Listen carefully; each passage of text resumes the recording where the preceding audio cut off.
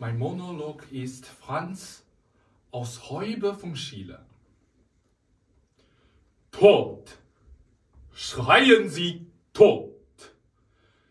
Jetzt bin ich Herr im ganzen Schlosses, zittert es tot. Wie aber schläft er vielleicht nur?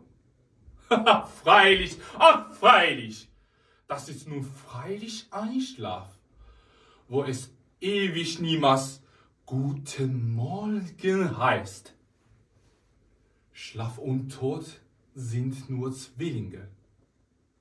Wir wollen einmal die Namen wechseln. Wackere, wir kommen Schlaf. Wir wollen dich tot heißen. Er drückt ihm die Augen zu.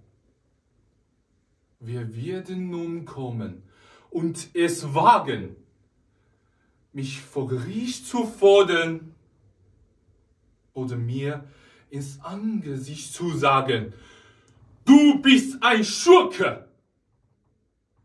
Weg dann mit dieser lästigen Larve von Sanftmut und Tugend. Nun sollt ihr den nackten Franz ziehen und euch entsetzen.